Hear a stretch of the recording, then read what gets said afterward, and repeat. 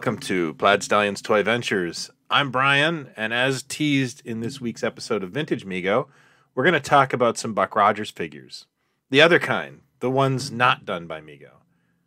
While Mego is the name that is most associated with Buck Rogers in the 25th century, and there's a good reason, they were actually a couple of licenses granted internationally that aren't as well known, and I thought it would be fun to give them a little attention. That's the whole point of Toy Ventures. Our first subject is Bendy toys from the United Kingdom. Bendy is appropriately named as their output were these figures made of wire, armature, and foam rubber, and they were mainly licensed characters from cartoons and television.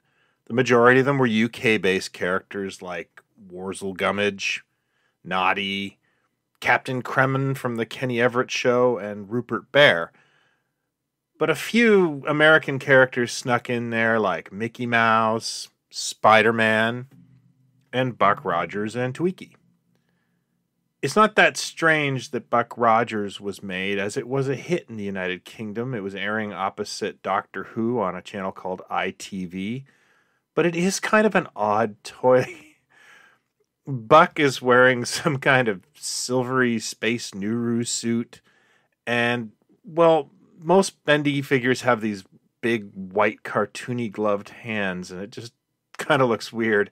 The head sculpt is really nice, but it's all just a little discordant. It, is it an action figure? Is it a plush? It reminds me a little bit of those Knickerbocker Kirk and Spock plushes that came out after the first movie that no one wanted. The Twiki is particularly nice, although I do worry that these figures will just sort of rot away. I've seen a few bendy toys go bad. It's not pretty. I don't think this set sold very well, and it seems like they're pretty easy to find nowadays on the secondary market in the box. Uh, it was a gift to me from my podcast partner, and I do love them. I have them uh, on display right behind me. Moving over to the other side of the world, we have what I believe is the rarest series of toys based on Buck Rogers, and that is done by a company called Kroner, and they are based out of Australia. Kroner was mainly a distributor of toys manufactured by other companies, and, and for a long time, it was assumed by Mego collectors that these toys were actually made by Mego, but there's actually no evidence of that. This is made more obvious that there are zero markings on the toys themselves. The figures are about five inches tall, and they are essentially a squeaky toy with five points of articulation they do almost look like someone blew up the smaller Mego figures, but who knows? There are three figures in this series Buck, Twiki, and Tiger Man.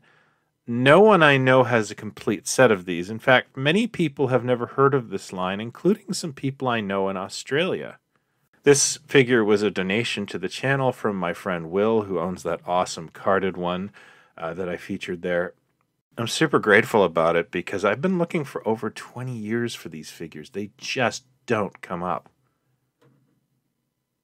Lastly, and even though this is more modern, I wanted to add it into this this mix. This is a wonderful 8-inch action figure from a company called uh, Zika, I believe. It is a Russian term of affection. Um, this is probably one of the nicest of what we call Remigo figures ever made. Unfortunately for me and other collectors, there were only two figures that saw production, and that was Buck and Tiger Man before the Buck Rogers license expired. This is a shame because they had some great characters planned that I really wanted, including Hawk, of course. Zika is still in the business of making toys, and they're pretty good at it, but unfortunately, they sold their 8 inch body tooling to Diamond Select, who, to my knowledge, has done absolutely nothing with it.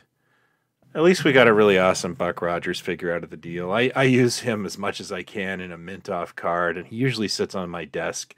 It's a really nice action figure. So that's my look at other Buck Rogers action figures. I hope you've enjoyed it. I am a fan of the series. Are you? You can let me know in the comments below, or you can hit me up in our Facebook group, Pod Stallions, where Buck Rogers is an important part of our conversations. Thank you as always for watching. If you're new to this, I hope you'll consider hitting like and subscribe. I do this every week. And be sure to check out my Buck Rogers playlist on this channel. I've talked about Buck quite a bit and will continue to do so. Till next time, be well, talk toys, not other people. Take care.